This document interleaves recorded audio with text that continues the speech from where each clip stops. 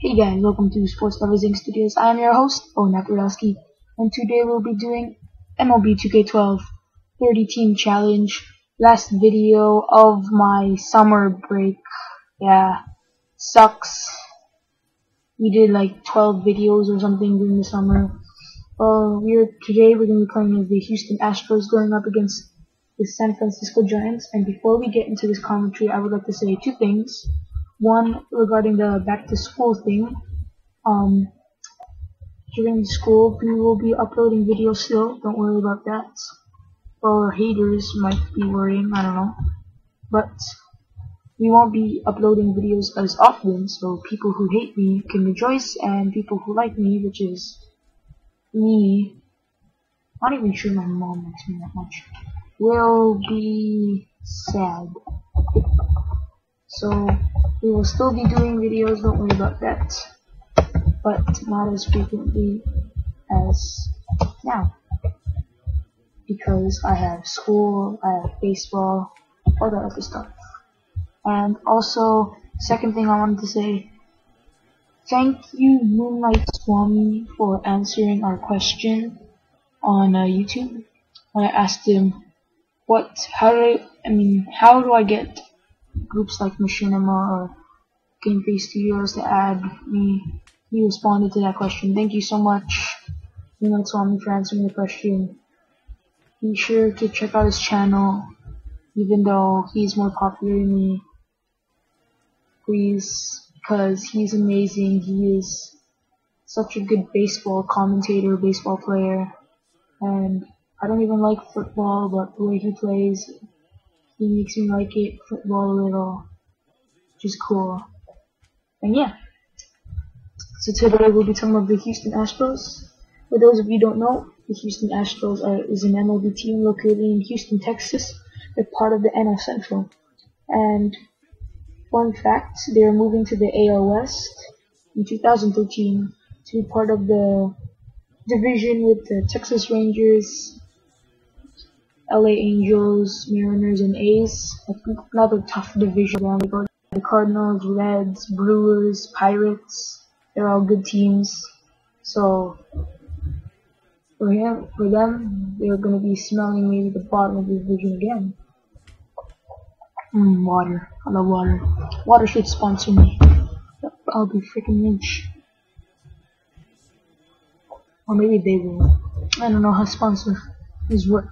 What I do know in the Hunger Games, yep, sponsors are cool there. Because they give you stuff. I think. I'm not sure. Anyways, I'm getting off topic. Um, they play in Minute Maid Park, which will soon be changed to another park once they move to the West. Maybe they'll start at the same time. I have no idea. Minute Maid Park, it's the Hitters Park, and over their franchise career, they've also played in something called the Astrodome, and they also played in Colt Stadium. And in 1962 to 1964, they were the Colt 4500ths, I don't know. And from 1965 to 1970, they played indoors in the Astrodome. And from, and we skip ahead to 2000 to 2004. They developed a retractable roof for unpredictable weather in Houston. Every time someone hit a home run that was a Houston Astro, a locomotive moved across the outfield and would whistle. The shooting star logo was also developed in 2000 to 2004. And also during that span, the Houston Astros added Andy Pettitte, Andy Pettitte with Lance Berkman and Jeff Kent, Bagwell, Bigelow, and Roger Clemens. They were also the early 2004 favorites to win the NL pennant.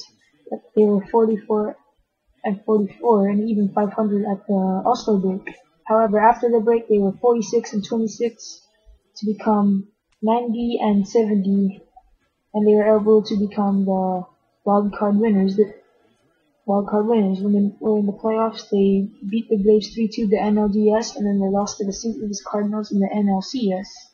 Clemens was um, the Cy Young winner, and they also added Beltran midway through the season, and he had eight homers in the, in the playoffs. However, Carlos Beltran then decided to sign with New York Mets. And Lance Berkman stayed with Houston, stuff like that. And later, those two would be playing together. None other than my favorite team, St. Louis Cardinals. Uh, now I'm going to be talking about the 2005 World Series berth. In 2005, they were once again among the favorites to win the World Series, but however, in late May, they were 15 and 30 with uh, 15 games under 500. But then from that point in late May till July, well, till July, Houston was 42 and 17 and they found themselves on top of the NL wild card. And then in July, they were 22 and 7, which is a single month record, or the franchise record for them. 2005, their pitchers were Roy Oswalt, who was 20 and 12 with a 2.94 ERA, Andy Pettitte with a 17 and 9, uh, who was 17 and 9 with a 2.39 ERA, and Roger Clemens, who was 13 and 8 with a 1.87 ERA, the lowest in the MLB. When they made it to the playoffs, as um, once again wild card winners in the NLDS, they beat Atlanta again, this time 3 to 1 and the game four and game four of that series was the most innings in the postseason with 18, most players used by a single team with 23, and longest game, which was 5 hours and 15 minutes. Those were postseason records. And in the NLCS, they played the St. Louis Cardinals again, and this time they came out on top, winning the series 4-2. And in the World Series, they played the Chicago White Sox. And uh, they got swept by the Chicago White Sox. And in the game three was the longest game in World Series history, which was five hours eleven minutes. And yeah, they got swept. And since then, they have never made the playoffs.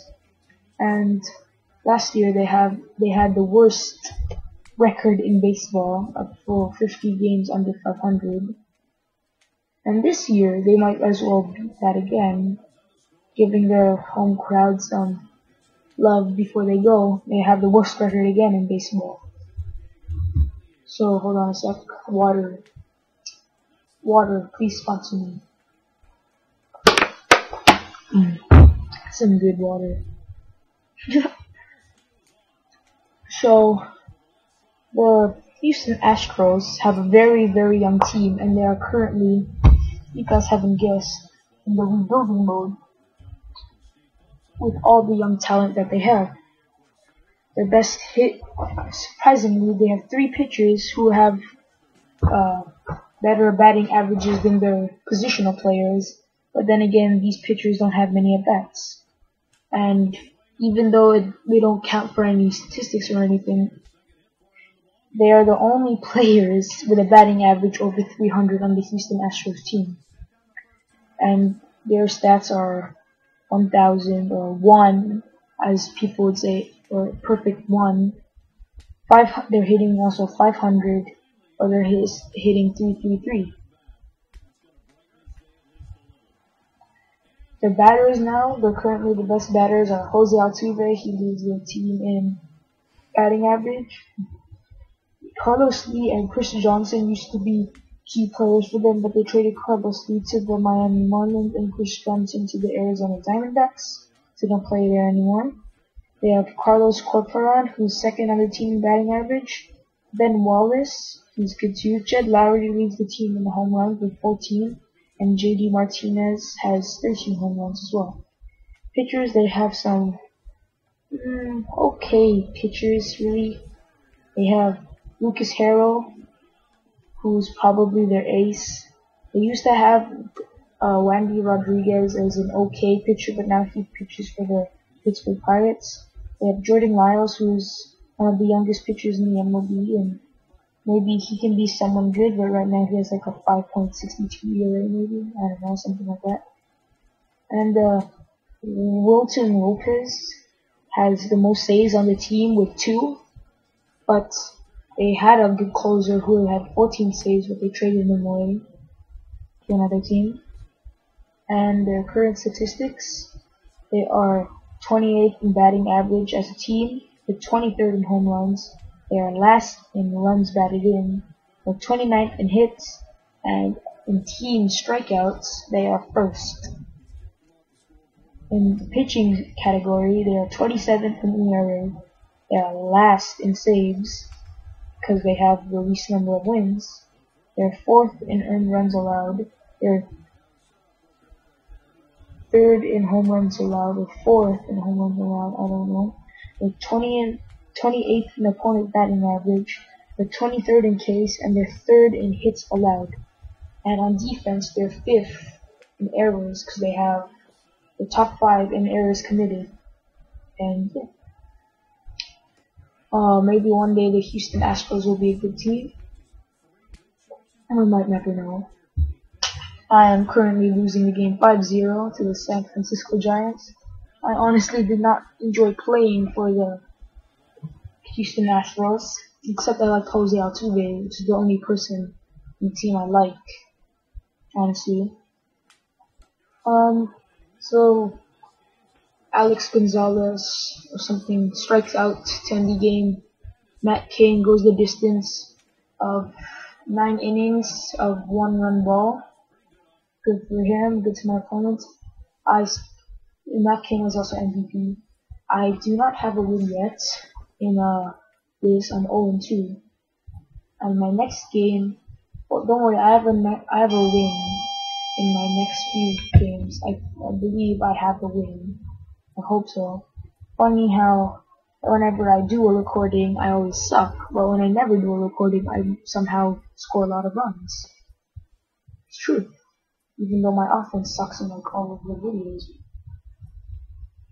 And yeah, even when it comes to Halo, maybe I suck at Halo when I do it, uh, commentary, but when it comes to, uh, when I don't play, and when I play with my friends, I dominate. I get like 15, 16 kills. Anyways, this concludes the video. Here are just stats. Uh, Matt Cain did really well. Uh, if you like the video, please leave a like, subscribe for more. If anyone watches their videos, please someone watch their videos. And as I said, back to school notes, won't be uploading many videos. And if anyone watches our videos and wants to see more, please subscribe. And want to see random videos uploaded on this site